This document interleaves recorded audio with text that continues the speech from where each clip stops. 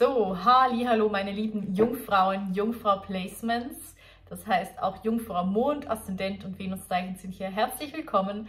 Aber auch Crosswatcher, wenn ihr für eine Person im Zeichen der Jungfrau guckt, dann seid ihr natürlich auch ganz herzlich willkommen. Mache ich manchmal auch. Ist auch immer spannend, die Bewegungen zu gucken von der Person, mit der man es zu tun hat, sodass man es nicht übertreibt. Ähm, kurze Anfangsinformation. Ihr wisst, das ist ein kollektives Reading. Das heißt, es kann nicht immer auf alle zutreffen, kann aber auf dich zutreffen. Und nimm dir einfach das raus, was für dich passt. Wenn es nicht auf die Liebe ist, kannst du es auch auf was anderes ummünzen. Wir hatten auch viele Legungen vorher, die gar nicht wirklich auf die Liebe hm, abgezielt haben. Ähm, grundsätzlich soll aber das Thema eigentlich die Liebe sein. Ähm, ja, was gibt es noch zu sagen, liebe Jungfrau? Zeit ist immer flüssig, das heißt, es kann im März sein, dass was passiert. Es kann aber, nee, das sind nicht die richtigen Karten. Kann im März sein, es kann aber auch im, also kann etwas davor sein, finde ich ja voll verwirrt. Seid ihr verwirrt zurzeit, Jungfrau? Habt ihr vielleicht Konzentrationsschwierigkeiten? Ich habe das jetzt als erstes, dass ich irgendwie so schwierig die Worte finde oder irgendwie hängen bleibe. Vielleicht seid ihr auch ein bisschen hängen geblieben auf eine Art und Weise. Ähm, ich habe hier für euch schon mal die Karten 9 der Stäbe und der König der Stäbe.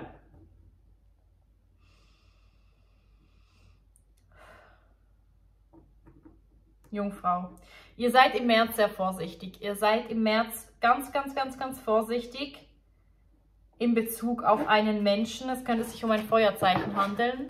Ein Menschen, der euch ganz viel Eindruck macht. Ein Mensch, der sehr viel Selbstbewusstsein hat, der aber auch sehr viel Sexappeal hat, sage ich jetzt mal. Ähm, ja, ein ja, Feuerzeichen haben sowieso viel Sexappeal, würde ich mal sagen. Es kann sich um einen Löwen, Widder oder ähm, Schütze handeln. Ich hatte jetzt irgendwie noch Skorpion im Kopf, obwohl das kein Feuerzeichen ist. Ähm, ja, es hat eben hier auf der Abbildung hinten hat ein Skorpion drauf, deswegen könnte es auch das sein. Ähm, ja.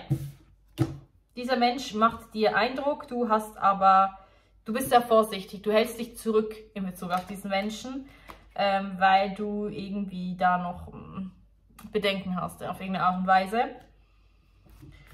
Bei der Kelche haben wir.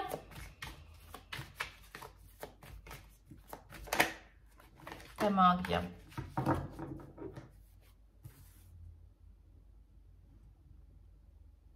Mhm. Du vermutest hier bei diesem Menschen, dass er nicht dir, dir nicht treu ist. Du vermutest bei diesem Menschen, dass dieser Mensch vielleicht auch mit anderen ähm, Frauen, anderen Männern zu tun hat. Und deswegen sagst du hier, hey, ich löse mich komplett von diesem Menschen. Ich konzentriere mich nicht nur auf diesen Menschen, sondern ich manifestiere mir hier einfach meine Wunschbeziehung. Ich manifestiere mir hier genau das, was ich mir wünsche und somit wird auch das kommen, was ich möchte, sagst du, liebe Jungfrau. Weil es bringt nichts, dir da den Kopf zu zerbrechen, sagst du dir, du gibst den Kampf auf. Ich habe hier die Karte, aber ich habe sie auf dem Kopf. Hier geht es eigentlich um Kampf. Ähm, du gibst den Kampf auf, aber nimm das jetzt nicht negativ auf, weil das hat wirklich keinen Wert, da äh, jahrelang zu kämpfen, wenn du nicht genau weißt, äh, ist diese Person mir überhaupt treu, ist diese Person überhaupt nur an mir interessiert oder gibt es bei der Person vielleicht auch andere Menschen, die sie interessieren. Von daher gibst du erstmal den Kampf aus, auf und sagst, hey, ich konzentriere mich einfach auf das, was ich möchte. Ich manifestiere mir das, was ich möchte und lass von diesem Menschen ähm, erstmal los. Das heißt nicht, dass dieser Mensch definitiv nicht dein Traumpartner sein kann, aber du, du lässt somit von deinem Ego los und, und lässt, gibst die, die Verantwortung, also nein, du gibst nicht die Verantwortung ab, das ist auch falsch aber du gibst ähm, die Ereignisse ans Universum ab. Also das, du gibst einfach ans Universum ab oder an Gott, wie du das immer auch nennen magst, und dass das für dich geregelt wird, dass das Richtige für dich kommen kann. Und das ist genau die richtige Entscheidung, liebe Jungfrau. Du wirst dich verlieben. Du wirst dich im März ziemlich sicher verlieben. Du wirst Erfüllung erfahren. Du wirst emotionale Erfüllung erfahren, wenn du genau das hier so machst und sagst, okay, ich lasse jetzt erstmal von dieser Person los. Ich werde manifestieren, ich werde mich aufs Manifestieren konzentrieren, ich werde mir genau diesen Mann anziehen, den ich mir wünsche. Ich werde mich darauf fokussieren, den Kampf erstmal aufgeben um diesen Menschen, der mir eigentlich ganz gut gefällt und dann wird es hier kommen, automatisch. Wow.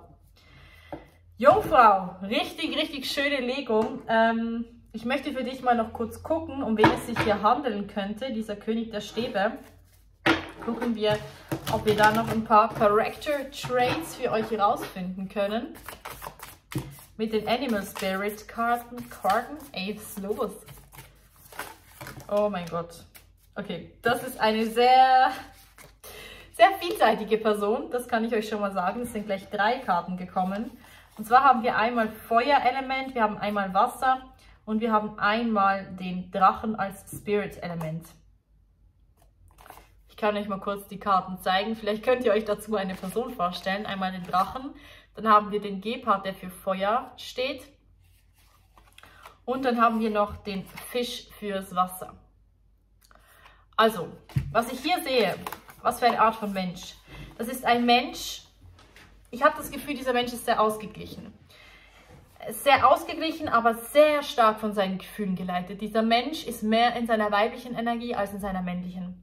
Weil Wasser und Feuer sind beides emotionale Energie. Gut, Feuer ist männliche Energie. Hm, kann schon sein, dass er das ausgeglichen hat. Okay, muss ich mich zurücknehmen. Weibliche und männliche Energie ist vielleicht ausgeglichen bei den Menschen, aber er ist nicht viel im Kopf, was ja eigentlich eher männlich ist. Er ist viel mehr im Gefühl. Er ist ein definitiv, oder sie, kann natürlich auch eine sie sein, definitiv mehr im Gefühl und lässt sich treiben, kann aber auch anpacken.